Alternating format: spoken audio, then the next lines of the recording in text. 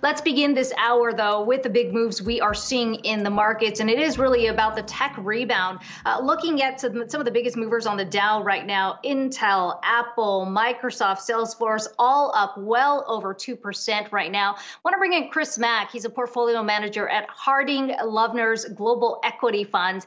And Chris, uh, you know, the big question here is is this the end of the tech rout? Is the market taking a pause? Uh, is there more pain to come? Yeah, that's a good question. Um, it's you know challenging to always time the bottom, right? I think there's if anyone could do that, uh, that would be ideal. But I think you have to be prepared to look through the long term. And we're focused when we invest in technology companies. Uh, we're looking at an average holding period of three, four, five plus years. We're really looking for companies with a long duration of growth. And so, in that in this context, people get excited about short-term developments, chasing fear of missing fear of missing out. Uh, but you know, when you had a pullback like this, you have the opportunity to buy for the longer term in durable growth companies. And over the longer term view, I think this is certainly a buying opportunity. Chris, if it is a buying opportunity, I mean, where do you uh, think we should be putting new capital to work here? Because we've been talking about these these rate jitters and what's happening there. It seems like uh, that could definitely come back pretty quickly if we see the 10 year rise again. So, I mean, when you're looking at it, relative risk reward between some of these cyclical names that we've been watching and tech, uh, what are you liking right now?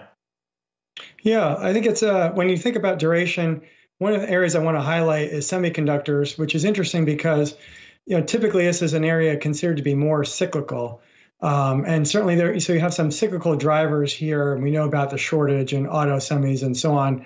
Uh, but there's an opportunity here to benefit from a longer term trend, which is designing custom chips. Uh, you know, and that's really happening for two main reasons. It's becoming harder and harder to produce chips at scale at smaller and smaller transistor sizes.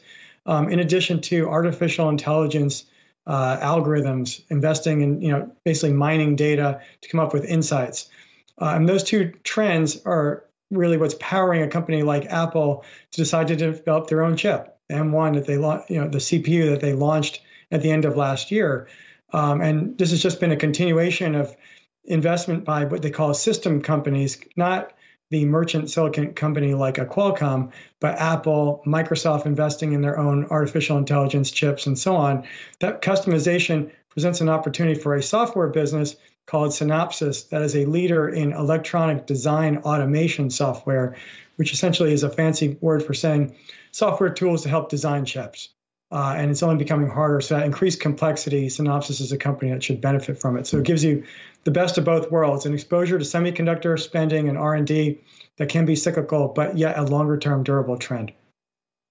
Chris, we're expecting the House to pass that $1.9 trillion COVID relief package this week. With the president signing it, certainly would provide significant relief uh, to millions of Americans. How much of that has already been baked in, though, you think, to the market? Or could we potentially see a move higher on the back of the president signing it? Yeah, I think you always have to be careful wondering what's priced in on something like this. I think the market has a tendency to look at the near term effects, but not the longer term effects.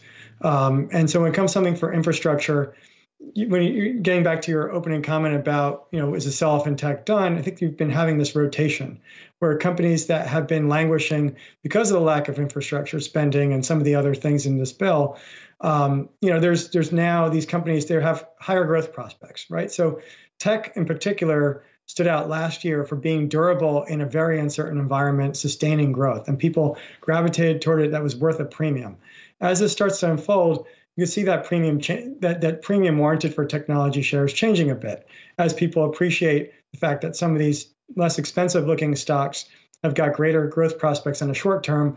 The question becomes, you know, what really has that duration on a longer term? And technology still has those durable trends, whether it's artificial intelligence, data, and so forth, software as a service. Those still are in play. You know, with the pandemic set in motion, as far as automation and digitalization of processes, that will continue. And that's just a way of having more mm-hmm. efficiency, um, which maybe will serve. Everyone talks about interest rates. That may serve as a, a tempering effect on interest rates going forward. Some good takeaways there. Chris Mack, portfolio manager at Harding Loevner's Global Equity Fund. It's good to talk to you today.